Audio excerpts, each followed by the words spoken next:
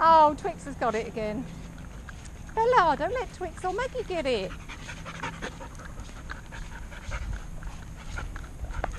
Drop it.